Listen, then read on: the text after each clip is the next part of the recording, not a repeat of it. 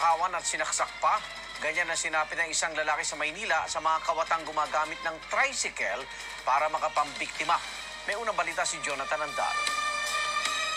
Mag-aalas tres ng madaling araw nitong biyernes, pauwi na galing sa trabaho ang 27 anyos na si John. Mag-isa siyang naglalakad sa gilid ng Vicente Cruz Street sa Sampaloc, Maynila nang biglang binangga siya ng isang tricycle. Bumagsak sa kalsada si John. Agad bumaba ang dalawang sakay ng tricycle pero hindi para tumulong kundi para magdeklara ng hold up. Nanlaban ng biktima. Nakipag-agawan ito sa kanyang cellphone at bag. Pero nanaig ang mga kawatan at hinampas pa siya. Naglabas pa ng patalim ang isa sa mga sospek at inundayan ng saksak si John. Nang patakas na ang mga salarin, humabol pa si John at kumapit sa tricycle. Nakaladkad siya ng ilang metro habang inuundayan ulit ng saksak ng isa sa mga sospek. Naglabasa na ang mga tao at nakihabol ang mga tanod. Merong pang residente na nambato ng upuan sa mga sospek pero nakatakas ang mga ito. Nagsisigaw po kasi siya nung mga oras na yun. Duguan po siya. Sabi niya po kasi sa akin, parang nasaksak siya. Kaya agad-agad po, eh, pero nilinis po muna namin siya, binigyan namin siya ng paunang lunas. Heto na si John ngayon.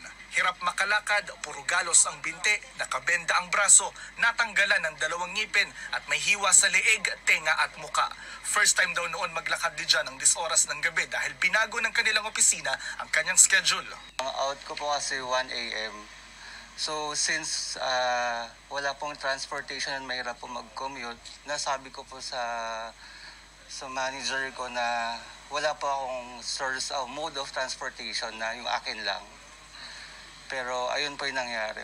Dalawang buwan pa lang daw ang kanyang mamahaling cellphone kaya ganun na lang daw ang panlalaban niya sa mga sospek.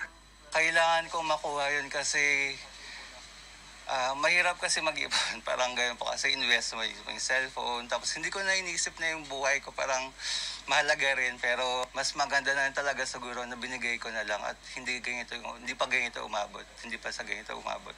Kagabi, naaresto ng Sampaloc Police ang isa sa mga sospek, si Harris Hogan, 23 anyos, taga Tondo. agaw cellphone lang siya nung una.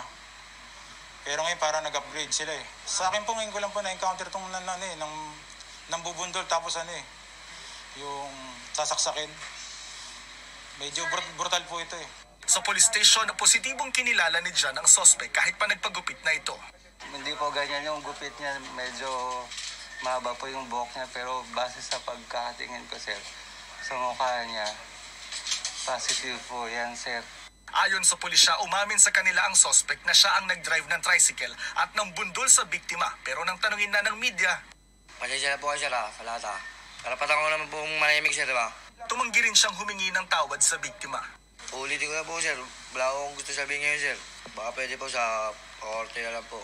Hindi pa nababawi ang mga nanakaw sa biktima. Robbery with frustrated homicide ang ikakaso sa sospek. May lead naman na raw ang pulisya sa pagkakakilanlan ng isa pang salarin na at large pa ngayon. Itong unang balita sa Maynila, Jonathan Andala, buong puso para sa Pilipino.